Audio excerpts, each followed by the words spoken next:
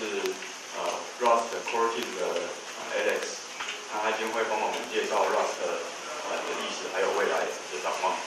那呃我在为呃在前面呢有准备了一些就是贴纸，还有一些我叫 Firefox 的一些小礼物。那等一下呃有就是一整结束之后，大家可以来前面拿拿贴纸，就是小礼物这样。那感谢大家今天呃捧场，那呃我们就废话不多说，让我们请 Alex 帮我们一下。 Nia. Nia, thank you for joining me. So I'm honored to be in Taipei for the first time, and this is a talk about the end of unsafety. So we live in an age of unsafety. This age began in 1972 with the creation of the C language and the Unix operating system. And today it encompasses all that we see. Unsafety is at the foundation of the computing world. And now we are beset on all sides. The barbarians are at the gate. The internet is no longer safe, and the tools of the past are not up to the task of fixing it. This is why Rust exists. Good morning, everyone. My name is Alex Crichton. Uh, as uh, Connor was mentioning, I'm from Mozilla Research. I work on uh, the Rust core team, and I've been working on Rust for about four years now. And today, I want to give you an idea of what Rust is, and some of the history, some of the features, and kind of all, all the bits and pieces of that. So if you want to take a look online, this is the uh, repository for this talk. There's uh, speaker notes, there's some links, there's the slides all there. I'll give you a moment to write that down if you'd like to write that down.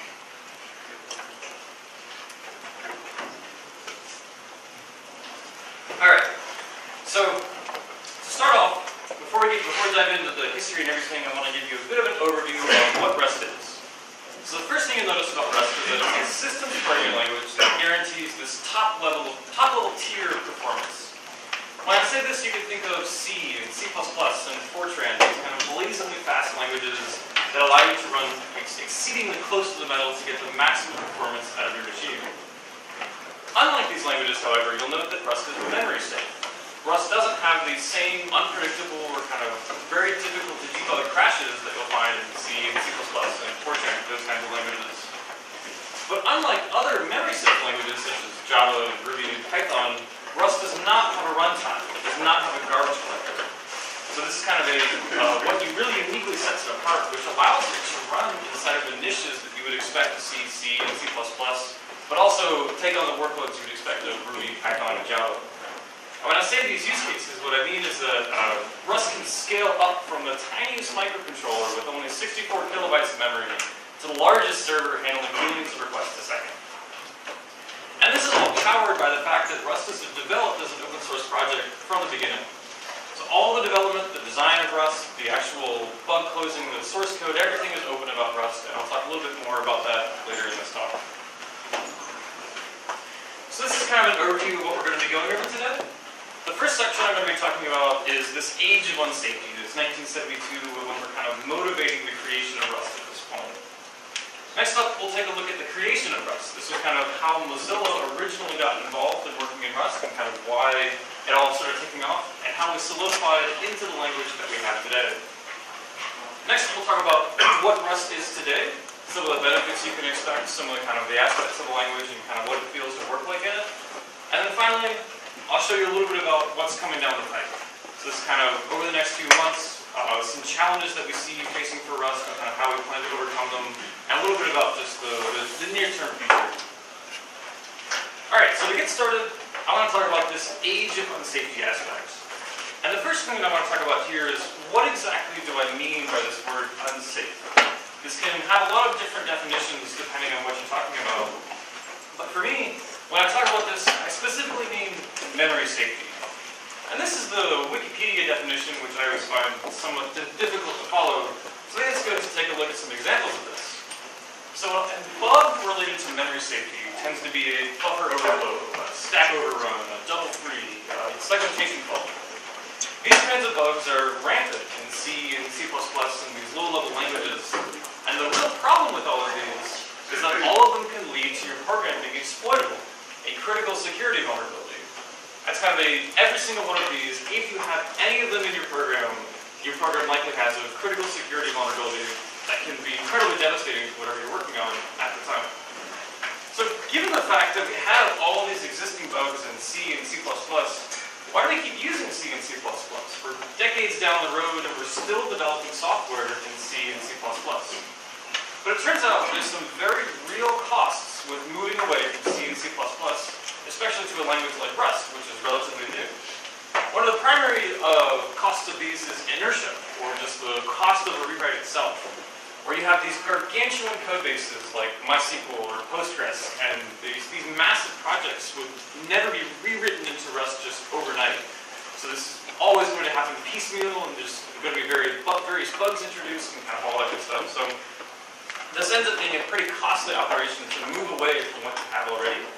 And then also, kind of for the past few decades, if you have a new kind of chip, a new computer, a new platform, it's essentially defined by the fact that C and C++ will run on it, whereas Rust is relatively new and has a little bit to catch up in terms of the maximal amount of portability that uh, you'll find in C and C++. But there's also this sentiment that we've seen on the internet of, let's be honest, if you need segfault protection, you're a bad programmer. So this is kind of the embodiment of the idea that these memory safety bugs are just that. They're bugs. And obviously, good programmers don't write bugs. But let's actually be honest here. This is sort of a false dichotomy where this is preventing us from actually getting all of the benefits of Rust. It happens to real-world developers in C and C++. So I want to walk through some examples of this the first of which I want to talk about is OpenSSL. Um, what developers of OpenSSL bad, bad programmers?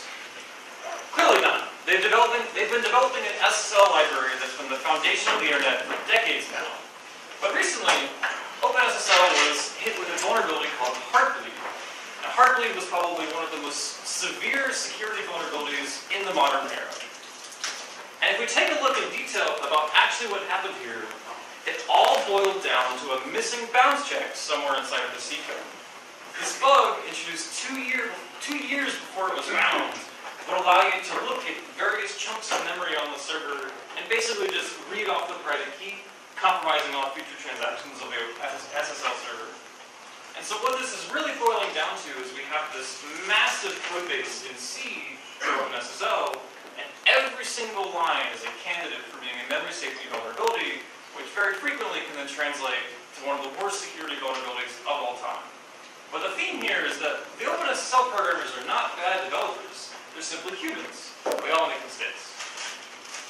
So another example of this is Android. So are the developers of Android bad programmers? There was a vulnerability a few years ago called Stagefright. This was in the media parsing library of Android where essentially if I sent you a text message, I could take over your phone. No interaction was needed, and I had complete access to everything that you had locally on your phone. Like the openness, or like the Heartbleed vulnerability, this was purely related to buffer overflows, to various uh, errors in C and C++, because this media parsing library working with all these untrusted sources of information was also written in a memory unsafe language which had by default all these bugs you have to watch out for. And the list goes on here. We have the developers of Windows, which are clearly not bad programmers. The Conficker worm was one of the worst viruses kind of happening in the early world. We'll move along, we find libraries like curl, which this is an HTTP library that runs from everything like your car to your phone to half the programs on your computer. And every year there's a stream of CVEs happening against this, uh, this kind of very, very large C and C++ code base simply because every single line is a candidate for these programs, and naturally they're going to happen accidentally. And you might think, well, these are all kind of high-level libraries, but even the core foundation of every single program on Linux, glibc, is still hit with these memory safety vulnerabilities, these CVEs. And so this was a recent vulnerability where a malicious DNS packet could take over your program once you're, uh, once you're running on Linux. And so this is kind of a summary of a chart that we found where on the x-axis you'll have years over time, and on the y-axis you have the number of CVEs, or the number of security vulnerabilities reported. And the trend here is that this problem is not going away. If anything, this problem is getting slightly worse over time. So we have not solved this problem of security vulnerabilities of these memory and safety bugs in C and C++. And so clearly, this is when we start getting into the creation of Rust and kind of the motivation for Rust at this time. So the initial investors for Rust were Mozilla. Now, the primary product of Mozilla is Firefox. Firefox is a web browser, which obviously is intended to be one of the fastest web browsers that uh, is being developed today. But the downside of this is that Firefox is about 10 million lines of C++ code. And for comparison, Chrome is about 12 million lines of C++ code. And naturally, this ends up being a pretty big problem for the security aspect. Every single one of these lines is candidate for being a security vulnerability or being uh, kind of uh, any of those memory safety bugs we were talking about earlier. And to put this in numbers, the Firefox browser in 2016 had about 133 security vulnerabilities or CVEs reported against it. And for comparison, Chrome had about 203. To say that Firefox is more secure than, than Chrome, but what it really means is that every single one of these 10 million lines of code can have this CVE lying in wait, can have these security bugs lying in wait. And we can evaluate the code base at any one point in time, but this doesn't account for the thousands of new lines written every single day that all have to be audited just as closely as every line of code that's already been sitting there for years at a time.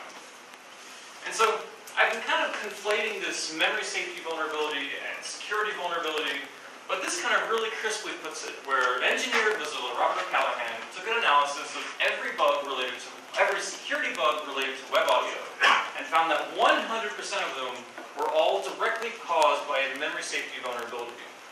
So I'm, I'm, kind of using these terms interchangeably, and it's not true that every single CVE is a memory safety bug, but what is tends to be true is that almost every memory safety bug is a CVE. And in practice, this tends to be around 50 or 50 or more percent of all security-related vulnerabilities are directly related to memory safety. And so clearly, this is when Rust starts to be created. This was about the time when, uh, in 2009, the kind of higher ups in Mozilla were looking around, looking for how do we solve this problem with Firefox? How do we put, the, put an end to this problem once and for all? And about the same time in 2009, the original creator of Rust, Graydon Hoare, was working at Mozilla and started developing this language as sort of a pet project.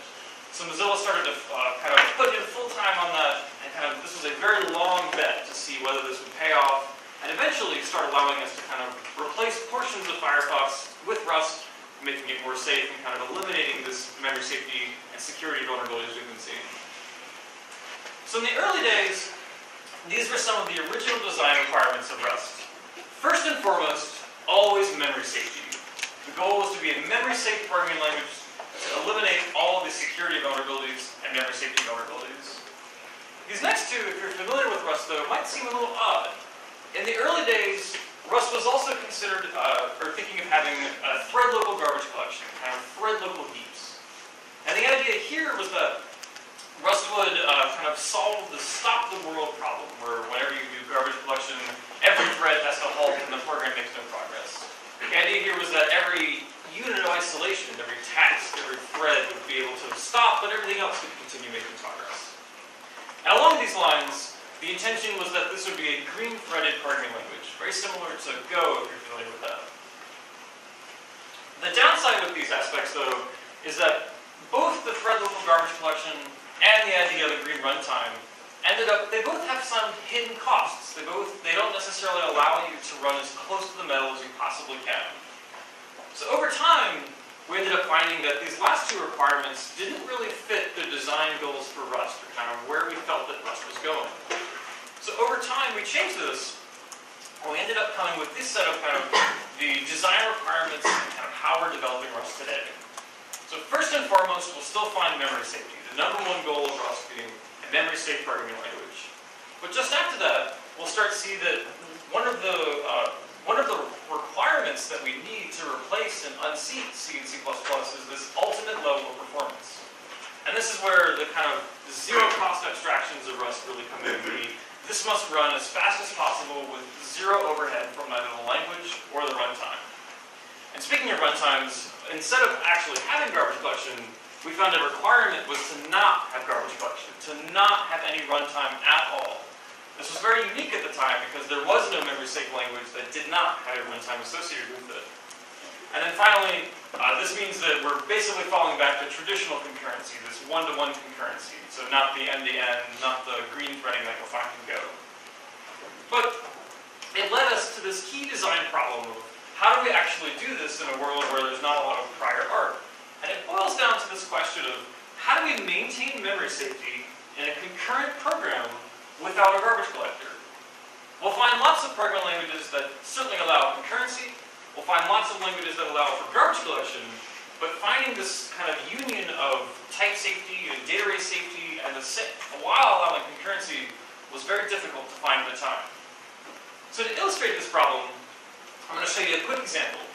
Here we have two threads with thread A on the left, thread B on the right. We have a stack on the, or a heap on the top and a stack on the bottom. So at some point, thread A will allocate this beautiful blue balloon, puts the balloon on the stack, or on the heap, there's a kind of a cord, which means there's a pointer on the stack pointing into the heap. And then what we're going to want to do is take this balloon and send it to thread B. So at that point, we'll just kind of copy it over, move it to B's heap, and we'll have this pointer on the stack still. But this was kind of a, so this, at a high level, this sometimes makes sense of how do we deal with this concurrent aspect. But when I said copy, there's a question of how do we actually implement this copy. We could do it like the Rust compiler did in the very early days by a deep copy of this balloon, but there might be pointers to other balloons or a stack pointer to this balloon, and that ends up being quite a problem. And so depending on how we deal with these various pointers, and maybe we follow them, maybe we don't, we can easily run into situations that look like this, where both thread A and thread B are contending for the same balloon, and this is essentially how a data race comes out. This is kind of uh, one of a one of the common vulnerabilities or kind of common bugs with a concurrent program that has some amount of shared memory. So this ends up boiling back to, well now we need a global, a global garbage collector to kind of mitigate all of these problems. But this is about the time that uh, Niko Matsakis joined the Rust team. And Niko was an honest-to-God type theorist who brought a lot of really cool ideas to Rust at the time. And two projects that we started looking at were Cyclone and Singularity. So Cyclone was a project, or a kind of a safe subset of C, kind of the static analysis to kind of try and make C a bit safer, kind of a somewhat of a different language at the time. But the idea was that it, was, it had a lot of aspects of the safety and memory safety, but it didn't quite handle the concurrency aspects. So for that, we looked at this project called Singularity coming out of Microsoft Research. A Singularity implemented a sort of unique system of ownership and kind of statically tracking the lifetime and values of pointers as they were moving across threads. So we ended up combining this and finding that kind of in a sense today, Rust is almost Cyclone plus Singularity kind of molded together. And by putting these together, we came up with these concepts of ownership and borrowing. These are the two foundational pillars for all safety in Rust today, and kind of how Rust as a language is completely built entirely around these. And to put these in words, in Rust, every value has a single, statically known, owning path in the code at any time.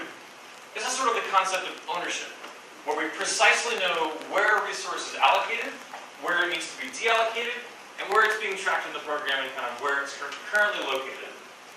But at the same time, pointers have a limited duration, this sort of lifetime aspect to them. And this is also statically tracked. So it's very important to understand that ownership and borrowing are purely a static analysis. There's no runtime associated with this. There's no nothing happening at runtime, so this is all a zero cost pass in the compiler. And all of this is known statically at, at compile time.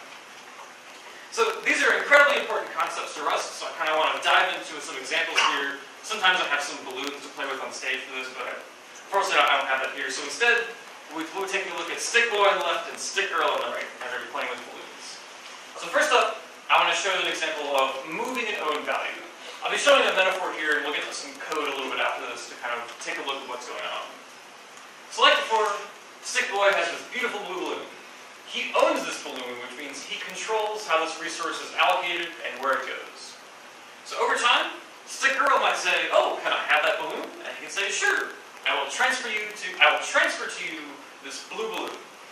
Now, Stick Girl has ownership of this balloon, and she can do whatever she wants with it. And the critical thing is that when Stick Boy wants this balloon back, he does not have ownership of this balloon, so he doesn't actually have control over whether he gets it back or not. But Stick Girl could give it back to him, or she could also let it go, and the air. So this is the concept of ownership where every resource has one owner at any particular point in time, and they get to control what happens with that resource. The, se the second thing that I'm going to talk about is borrowing. Or, uh, sorry, uh, uh, is uh, borrowing. So in Rust, there are two kinds of borrows. The first of which is a shared reference. In this case, I'll be showing this with a green balloon this to a blue balloon. And so in this case, we'll have uh, Stick Girl, when she wants this balloon, Stick Boy hands it to her, but still holds onto this string. So this is showing that Stick Boy is still the rightful owner of this balloon, but temporarily, Stick Girl can take a look at it, can inspect it, and has, has access to this balloon. But later on, when Stick Boy wants his balloon back, all he's got to do is tug on that string, and then he'll have back at himself. So the shared borrow is unique where you do not take ownership of a resource. You're just kind of temper, temporarily looking at it for a particular lifetime. And crucially, there can be multiple shared borrows. So there's only one stick girl here, but you can imagine that stick girl would then hand it off to others and we kind of follow up a bit. I'll show a little bit more of that a little bit later. So the second kind of borrow in Rust, and the last kind of thing I want to talk about, is a mutable reference, as opposed to a shared reference we were just looking at. So in this case, with this red balloon, like before, Stick Girl wants access to it, and like with the shared borrow, Stick Boy still holds onto the string. He can still pull it back whenever he wants. But unlike a shared borrow, what Stick Girl can do is she can draw a beautiful smiley face. She can modify this balloon. She can mutate it. And then when Stick Boy pulls it back, he'll get it back, and now he can look at this beautiful smiley face, and he can do whatever he wants with this balloon as the owner, including popping But alright, let's take a look at some code now as opposed to just a metaphorical balloons flying all over the place. So this is an example of moving an own value in Rust. The first thing you'll notice is this main function, kind of the entry point of the program, will allocate a balloon on the stack, this variable b, variable b. We'll then call the examine balloon function and we will transfer ownership. So the main function is transferring ownership of the balloon to the examine balloon function. Inside of the examine balloon, we can kind of take a look at it, print it out, we do whatever we want. And as the owner of the balloon, the examine balloon function will destroy this balloon when it goes out of scope. So when the examine balloon function returns, we'll deallocate whatever is associated with that balloon at that time. And so, as I was saying, this is a static analysis pass which means that if we were to accidentally use the balloon back in the main function, we've already transferred ownership, and it's already been deallocated, so this would be a use after free, but the compiler will reject this code, saying that uh, this is a use after move, and you're not allowed to have access to this, access to this object after ownership has been transferred. So the next example we took a look at was the shared reference. And the first thing we'll notice about shared references, as opposed to ownership, is this ampersand sigil. this is what denotes borrowing in Rust. So we have, we're passing in an ampersand b as opposed to just b, saying I'm giving you a borrow or a shared reference to this balloon. And then inside the examine balloon function, we had an ampersand balloon as opposed to just a balloon. And so like in the stick boy stick girl example, we see that uh, both functions can print it out. Both functions can both functions can read it, and main, as the owner of this balloon, will be the one that deallocates it once main returns. And the last thing that I was talking about was mutable references. So this is denoted by this ampersand mute, as opposed to just ampersand. So we'll notice that the balloon B in the stack is declared mutable, as opposed to just let, and then it'll pass in these ampersand mutes along the way, and this allows StickGirl and the examine balloon function to draw a smiley face on it, to mutate this balloon. And then when we take a look at it in the main function, we'll see the smiley face, we can see the result of it. So in summary, this is the concept of ownership and borrowing and Rust. The pillars of which all safety and kind of the rest of the language is built around at this point. It boils down to these three concepts of moving an own value, concept of ownership, these shared references, which we can have many of, and allow us to read and take a look at it, but don't allow us to mod modify our resources that much. We also have a mutable reference as, uh, as, the last as the last kind of reference, which allows mutation, but only one. And so an interesting thing about this is that you can only have either a shared reference or a mutable reference. These are kind of exclusive at compile time. And that allows us to control whether you're either reading or writing. And this is very similar to a, a read-write lock, if you've seen this in concurrent programs, where a reader is sort of lots of shared references, or a writer with mutable references, but never both happening at the same time.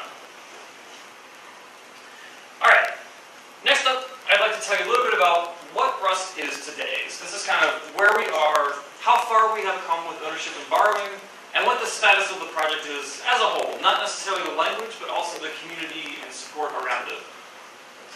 So the first thing that we'll notice is that Rust truly is delivering on this best-in-class performance, this kind of in zero cost, lowest of the middle performance, competing with C and C++. You can look around with this with a few examples. The first of which is ripgrep. So ripgrep is by the author Andrew Gallant, and is meant to be a replacement for the grep utility on Linux. For those of you not familiar, this is a, a text searching, so given a body of text, trying to find a substring inside of it. And what you'll find is that this, which is almost entirely safe code, is almost eight times faster than the native grep utility. And depending on various benchmarks, it can be even faster or a little bit less. A little, the gap is a little bit smaller. But the key thing here is that Rust really is showing off that even if you write your program entirely safely, entirely within the safe subset of Rust, you never need to worry about these memory safety vulnerabilities, and you can get blazingly fast levels of performance, and unlike grep, you don't have to audit every single line of code for a vulnerability lying in wait. And so another example of this I like to talk about is a project called WebRender. So this is coming out of a, a web browser being written in Rust called Servo. And WebRender is sort of a novel new technique of how to actually render web pages and render scenes mostly on the GPU as opposed to kind of mostly on the software at that point. And this enables Servo to web render web pages at hundreds of frames per second, whereas browsers today struggle to get 10 to 15 frames per second. And this is all kind of a novel system built up in Rust, entirely orchestrated in Rust, at the same time, we don't have to worry about these vulnerabilities. We don't have to worry about all these kind of dangling frees, these dangling pointers. It's all taken care of. We can. Uh, this is actually one of the components that's currently being integrated into Firefox today, and you'll probably see, see soon in I think Firefox 57 later this November. November. So the next thing we'll notice about Rust is this concept of stability as a deliverable. This was a slogan of Rust kind of in the early days, where the idea is that Stability is one of the most important aspects to Rust as a programming language today. Rust reached a stable 1.0 status back in 2015, and this was when, at that point in time, we were kind of done changing the language. We were no longer going to have breaking changes, we're no longer to, we're going to guarantee source level stability. And this is incredibly important for building up a very large community around Rust, because you can't just pull the rug out, out for everyone every few weeks. Since then, we've had 19 point releases, where the theme for every single one is that if you compile on the previous point release, you will continue compiling on future point releases. And this has served kind of a, like ownership and borrowing, a rock-solid foundation for the entire community, community to be growing on and to be building up new, more new projects on. And you'll find that this uh, kind of focus on stability, this focus on not breaking code, it also leaks out into the rest of the ecosystem. It's not just the Rust compiler and the Rust language and the Rust project, but also all the libraries throughout the Rust ecosystem tend to follow the same sort of standards where a very strong focus is given to stability and not breaking code over time. The next thing we'll notice in Rust is this library ecosystem associated with it. So at 1.0, was Rust was released with a package manager called Cargo. And this was kind of one of the most crucial features of Rust at 1.0, allowing you to very easily share code and move code between repositories. This is all published to a site called crates.io, which is very similar to npmjs.org or rubygems.org if, you're familiar with that. And on crates.io, we have just over 10,000 crates, we have 50 to 60,000 versions, and we have almost 200 million downloads uh, from just crates.io. And this has proved to be an excellent catalyst for growing the Rust community. The standard library itself in Rust is relatively small, it's relatively conservative, and this was done intentionally to allow a lot of experimentation, a lot of kind of growth in the ecosystem externally on crates.io in a third-party fashion. And this is sort of crucial for operating in Rust in the sense that it's very easy to pull in others' code. It's very easy to publish your own code. It's very easy to kind of put libraries together and get a real-world application with hundreds of dependencies up and running very quickly. The next thing we'll notice about Rust is something that you don't always hear about when you hear about programming languages, but it's Rust's community. Rust has one of the most vibrant and helpful and kind of most welcoming communities I've ever seen personally. And this is made up of over 2,000 contributors to just the Rustlang Rust project. That's kind of the standard library and the compiler. This 2,000 contributors isn't even counting contributors to Cargo, the package manager, Crates.io, the website, or the various, uh, all the crates on Crates.io, building and kind of building an ecosystem on there. You'll also find there's a number of conferences happening about Rust. So we have RustConf, which is actually happening in a few weeks in Portland. We have RustFest happening about a month, uh, a month from now in Zurich, and we have Rust Belt Rust also happening in the U.S. in Columbus, Ohio, in a month or so. And this is kind of a great place to kind of meet the Rust community, see them all in person, and really experience what it means to kind of be in the be in the Rust community uh, with a first-hand experience. So that's kind of a, a, few statistics and kind of a few things about from us about how Rust is today. But I want to show you some examples of what others are saying about Rust as well. So this is an example from the Stack Overflow 2017 survey, where the, you were asked a question, what language are you currently using, and would you like to continue using it or not? So if you would like to continue using the language that you're currently using that's kind of deemed a loved language, and for the second year in a row, Rust has come out as the most loved language on the survey. And what this is really showing is that if you if you're working in Rust, it's kind of we see we see the sentiment that a lot of times it kind of reinvigorates people and kind of re-energizes people to be interested in programming again. Rust ends up being a very nice language to work in built in kind of the modern era, Rust doesn't have all this baggage from decades ago, and it kind of is a nice clean slate to start afresh with all these modern practices. So not just these concrete things of ownership and borrowing, but also nice language features like pattern matching, a great uh, community builder like Cargo to kind of easily share code. All of this kind of builds up into a really nice experience, which makes Rust a very nice language, and you tend to not want to move away from it. And it's not just Stack Overflow saying this as well. This is from the RedMonk Programming Languages Programming Language Rankings, saying that Rust went from the 46th most popular language to the 18th most popular language on GitHub, where no other language has grown faster than Rust. And this is kind of a great way of uh, saying that today we're starting to hit that exponential growth in Rust, kind of that up and to the right curve.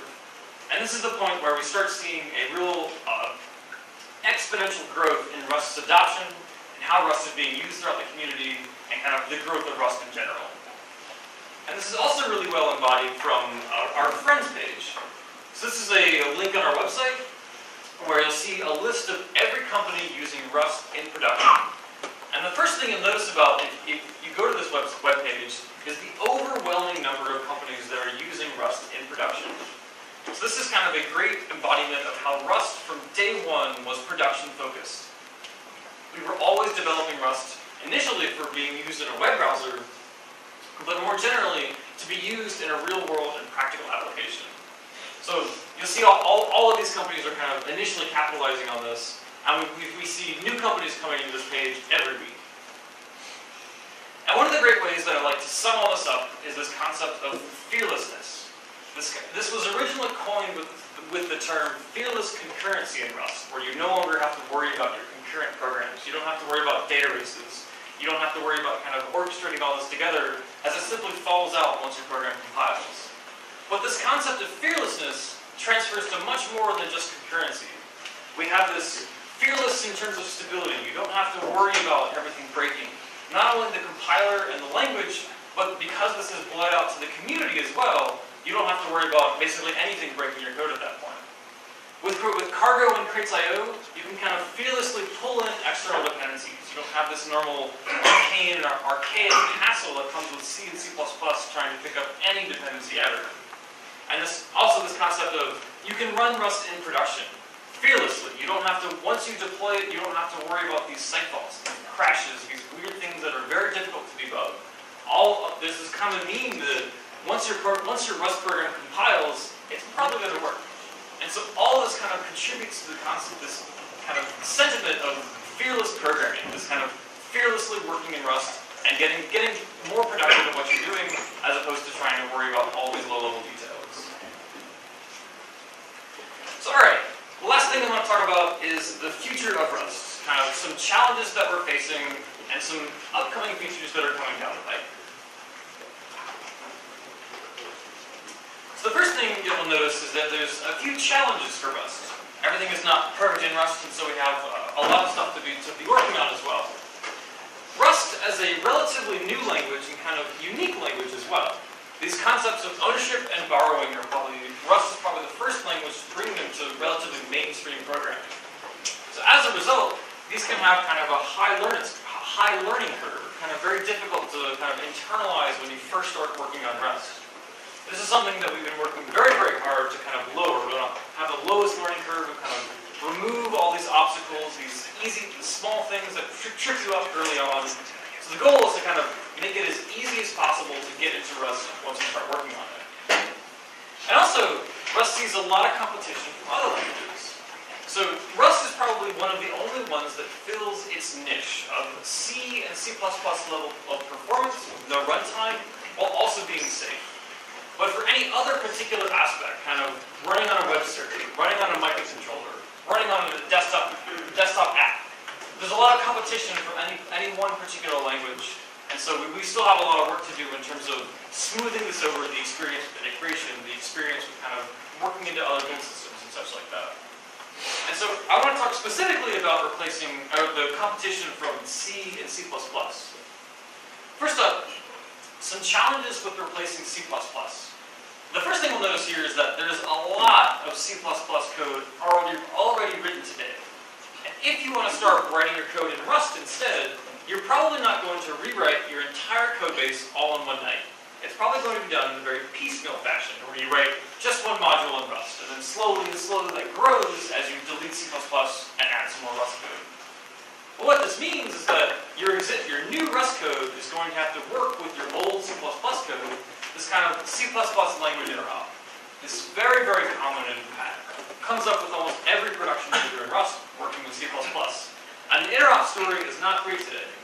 There's a lot of kind of manual things you have to do to actually get this working, and it can be relatively error prone, which kind of erodes some of the safety guarantees you'll have in Rust because you're, you're crossing this language boundary. So kind of C++ language interop, and otherwise more generally, language interoperation between Rust and other languages is something that we need to work a lot on and kind of is a challenge to overcome. And then along these lines, there's also kind of the more mundane aspects of just a build system integration. So we have all the C++ code, and we have this new Rust code, and all I want to do is build it, assemble it, and link it into the same program. That's sometimes not a very trivial task to do. It can be very, very complicated with these various arcane and bespoke build systems in C and C++ that can be difficult to integrate into. So both of these are something that we've been working a lot on in 2017 to kind of lower this barrier to entry, but we still, we still have a lot of extra work to be going along here. And the next up, and lastly, I want to talk about the challenges for replacing C. So Rust guarantees what I was saying, source level stability, but it does not guarantee binary level stability, where different compilers over time will have different ABIs, different binary level kind of interfaces of what's going on there. This is unlike C, which by default has a stable interface at the binary level in addition to the source level.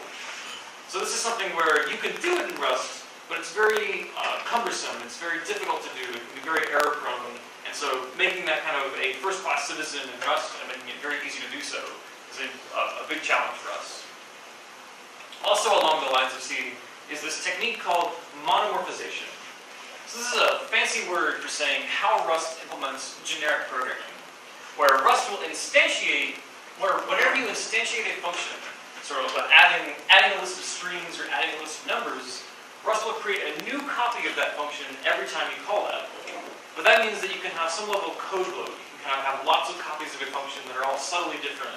Whereas opposed to C, a lot of this tends to be done virtually. So kind of idiomatic Rust might be a little more code heavy than idiomatic C, where once you start writing the same kind of constraints of your existing C program, the Rust code might not look so idiomatic, might be a little more difficult to write at that time. And then finally, There's this unstructured control flow in C, this go-to, this set jump, this long jump. These do not map well to Rust's concepts of ownership and borrowing and kind of, it's very difficult to bolt safety onto these things. So if you have a C program that very heavily relies on these aspects, then it, it can be very difficult to translate that into Rust. So despite all that, we are definitely still very much of the belief that Rust will succeed. And I want to give you some reasons, to kind of talk about a couple of things about why we think that despite these challenges, Rust is set up for nothing but success at this point. The first of which you'll notice is this incredible base of technology which Rust is found, founded on. These are the concepts of ownership and borrowing, the zero cost abstractions, these, these core design principles in Rust are, a rock solid foundation to build up the rest of the language, the rest of the community around this point. So we're, we're never compromising on speed, we're always having this static analysis at compile time, which helps solve a huge number of bugs, not just related to memory safety. And all of this aspect kind of really boils down to the point that we have a really solid technological and technical foundation for us to be built on. I was talking about how Rust is very production focused, and this is something that has been crucial to Rust's success so far. Being production focused from day one has kind of guided a lot of our decisions along the way, saying, well, this could work out, but it might take many, many years to actually get this to come to fruition. So instead, we need to find a path in the, middle, in the meantime, which actually allows us to move forward, but still leaves us open to the fact that we can implement this new feature in the future. So having that focus has been really helped us kind of uh, stay on stay on schedule, make sure we don't delay anything too much, and make sure that we actually get Rust 2.1.0 and production status on a reasonable timeline. The next thing we'll see is that Rust has a very strong and flexible ecosystem design. I was saying earlier that the Rust standard library is actually very small. It's very conservative. This is very different if you come from a language like Python, where you expect all these various utilities to be there, but they're not there in Rust. And the way this actually ends up working out in Rust is that despite this, you have such easy access to Crates.io, you effectively have access to all the same utilities. But the benefit of this, this approach is the ability for very easy and rapid iteration inside the ecosystem. So changing the standard library is very difficult, but changing a crate on uh, Crates.io is very easy to do and can allow for competing implementations, can allow for evolving implementations, and kind of can get us much more quickly to a fixed point of exactly what we, what we would like and how we would like to implement it much more quickly. Uh, kind of another aspect of this that I want to talk about is that uh, the language itself is very conservative here. So you'll find that the Rust programming language, the Rust compiler, knows nothing about concurrency. All the compiler knows about is these concepts of ownership and borrowing. And on top of this, we're able to build a toolkit of utilities in the standard library to help you work with concurrency. So all we're doing is we're using these relatively simple language concepts and then building up a very large set of utilities inside of libraries. And this is another case where, like I was saying, it's much easier to change crates to crates.io oh, than it is to change the standard library. It's much easier to add utilities to the standard library and change the implementation than to change the language. So having this kind of very small and flexible core of a language that we can build on in the standard library and build on in the ecosystem has been absolutely crucial to Rust's success so far, and is why it ends up being so flexible and so useful to such a wide variety of use cases. And so finally, some reasons that I think Rust will succeed. One of the primary things it's doing is expanding the audience of systems programmers. So this is where this concept of a systems programmer has tended, tended to be historically a very narrow or kind of uh, architect or uh, is a archetypal concept where kind of there's a one thing you think of when you think of a systems programmer. It's this grizzled wizard which has been working for years to get working code in C and C++. But what Rust is enabling us to do is taking these programmers from Ruby and Python and JavaScript that would otherwise be intimidated by the how much you need to know in C and C++ and say, you can work at that level inside of Rust and have that level of fearlessness, that level of, you no longer have to worry about all the same problems you would otherwise, and you can still be just as productive as you are in Ruby JavaScript and all that. And a lot of this is powered by this very strong culture around Rust as well. This kind of uh, the, the, the community from day one has been very welcoming, very supportive, very kind of inclusive, and kind of this is essentially changing the de facto culture we find in systems programming. The average C, C programmer tends to be very different from the average Rust programmer in a lot of positive ways. Alright, so to give you an idea of what's coming up in Rust, this is kind of why we think Rust will succeed, but here's some features that are coming down the pipe. A lot of this is kind of going off the 2017 roadmap, this is something that we publish every year in terms of what we would like to do over the next year and kind of upcoming features. The first thing you'll notice is this idea of improved ergonomics.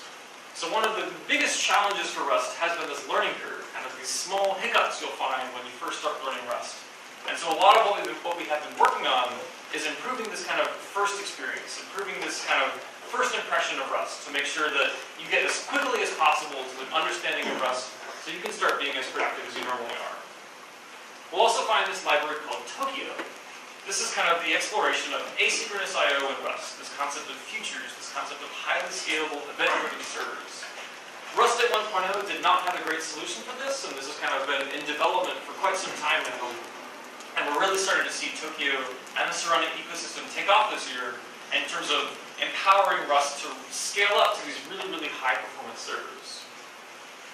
We'll also see a lot of uh, rewritten documentation this year. So along the lines of lowering this learning curve and making Rust easier to enter, we've completely rewritten the introductory, the introductory book to the Rust programming language as an entirely new second edition. This is already showing off a lot of different benefits, a lot of benefits kind of much more easy to understand, much more easy to kind of bringing you on board the language. And we should see this published a little bit later this year. Next up, we'll see a lot of improvements in tooling. This is something very common we see in uh, production users requesting this, which is a lot of IDE support, this uh, go-to definition, this auto-completion, this filling out what methods do I have. This tooling can often be critical to the productivity of programmers at these large corporations. So we've been working on this project called the RLS, the Rust Language Server which kind of is a tool to integrate into other IDEs and support all these queries that you would expect, and kind of giving you this native level of support for all the common things like go-to definition and all that. And then finally, as I was saying earlier, we're working a lot this year on improving language interoperation. Not just with C++, but also with languages like JavaScript and Ruby and Python and all that. And the idea here is that Rust is not going to take over the world overnight It's going to be a very slow and kind of gradual uptake over time. And the way we're going to be doing that is by interoperation with existing languages. So that's kind of what we are doing to enable Rust developers and to kind of empower the Rust language to move forward. But the real thing that's going to actually make Rust succeed at this point is going to be programmers like you, writing the next generation of programs written in Rust and enjoying the competitive, competitive advantage that Rust gives you over languages like C and C++. The legacy of C and C++ will continue for decades to come, but the future is in safety, and the future is written in Rust. Once again, my name is Alex Crichton, and this was the end of Unsafety. Thank you for coming.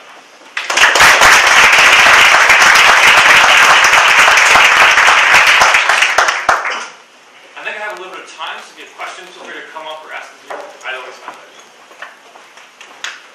对，啊、呃，谢谢 Alex。那我们还有十分钟的时间可以，呃，Do you want to answer questions? Yeah, I I always find it. 啊，所以就有问题的话，你可以举手发问。然后如果你讲中文没关系，我来帮你翻译。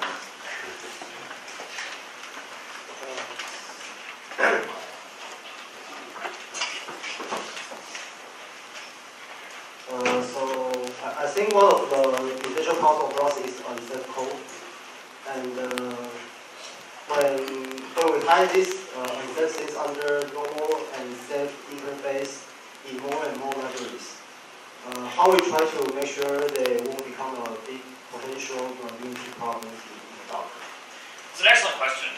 So this is kind of a concept that uh, to en Rust to have all these various kind of utilities and channels and standard library and all that they have these unsafe underpinnings and kind of these unsafe blocks. But that's kind of the crucial aspect, which is that by default, Rust is safe. By default, you're never you're never uh, leveraging unsafe. You're never writing unsafe code. So the idea that all of this unsafety tends to be encapsulated in these safe interfaces, and most conventional libraries, kind of most applications, it very, very rarely need to lower down and actually use these unsafe pieces. So the critical things here are that by default, everything is safe. By default, you're not using unsafe, which means that the amount of unsafe code that you have to audit tends to be very, very small. And then furthermore, most of the unsafe code tends to be used from, from external libraries, from the ecosystem. And that means that most of the time it's been very well vetted by other external authors, by tons of other different use cases. And the final thing here is that uh, we're working a lot right now in kind of developing these unsafe code guidelines. And the idea here is that we're actually writing an interpreter where you can feed it unsafe code and it will say that this is unsafe code. And that and this is precisely what can go wrong at this point. And then that's like it will give you a certain check at runtime saying you need to go fix this, this is memory. So it is true, this is a weakness in Rust safety and guarantee, having unsafe at all, but kind of in practice, this ends up being such a small portion of Rust code. It ends up being a very well-vetted portion of Rust code. It tends to not be a problem kind of the same way you would see CVEs and memory safety vulnerabilities in C and C++. Does that make sense?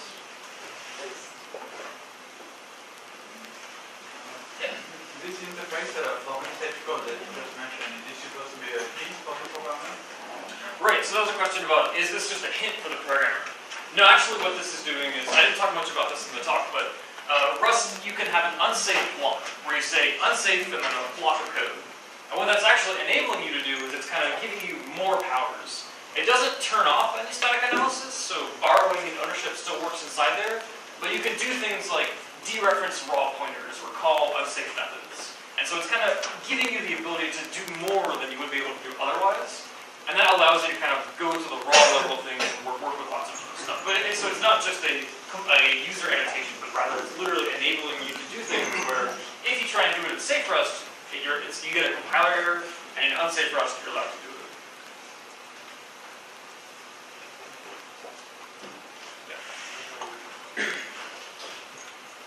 Uh, as you mentioned that Rust doesn't have something like a long jump and safe jump, and I, am wondering if Rust can replace a low-level system programming like uh, C language, or does Rust intended to do so?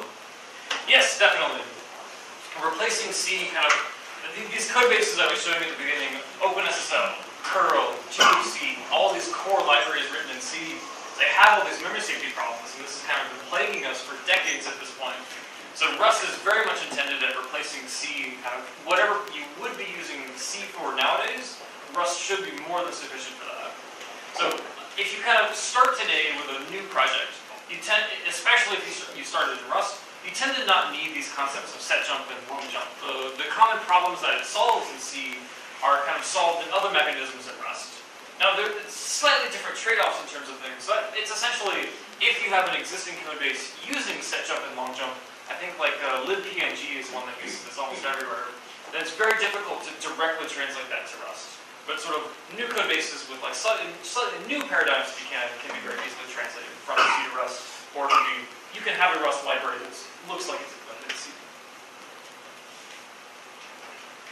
Yes. Could you share about uh, developing a web service with Rust? Right. The question was about developing a web service with Rust. So this is something that uh, has definitely been under development for quite some time, and unfortunately we never had a great story for in the sense. But a lot of focus of 20, one of the roadmap goals for 2017 was to enable Rust to be useful and productive for this precise use case of writing a web service. So a lot of this has been going into the, into the efforts of, so we have Tokio, which is primarily allowing you, primarily enabling you to write a very high-scale web service. So a lot of times, most companies don't necessarily need that level of scalability or that level of performance. So we're also working a lot on, uh, very recently we released an HTTP crate, which is kind of the core types for HTTP functionality. And then we, we envisioned building on top of that a relatively simple, but still functional and featureful implementation of a single threaded server, kind of writing those kinds of frameworks. And there's, there's a lot of frameworks today. There's things called like Iron and Nickel and Rocket various crates in the Rust ecosystem that are kind of enabling you to write a web service relatively easily. But Unfortunately, it's not quite the same smooth experience you would experience in uh, Node.js or Python. It tends to be a little more manual right now, and it's definitely something that we're working on a lot.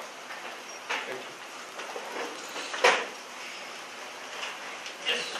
Is there a debugger for Rust, like we can say breakpoint or? Excellent question. Uh, question about is there a debugger for Rust? And the answer is yes, there's GDB. But more seriously, this actually just falls out in the sense that Rust has the same compilation model of C and C++, and it's a massive advantage to be able to use GDB. So there's GDB on Linux, there's LLDB on OS X, there's the Visual Studio debugger on Windows. All of these native debuggers work for C and C++ work seamlessly for Rust. You'll find that uh, profiling Rust is the same way, debugging Rust is the same way, and this enables us to, we didn't have to go out of our way to build a new debugger. We're able to capitalize on existing very good debuggers and just work with them natively.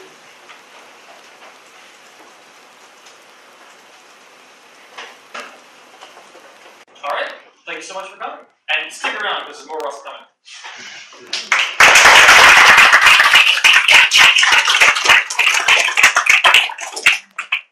好，谢谢 Alex。那我们接下来还有更多 Rust 的议程，尤其是十一点的时候会有一个 Rust hands on 的 workshop，所以呢，有希望你可以学一些 Rust，今天就可以实际呃在场上走走。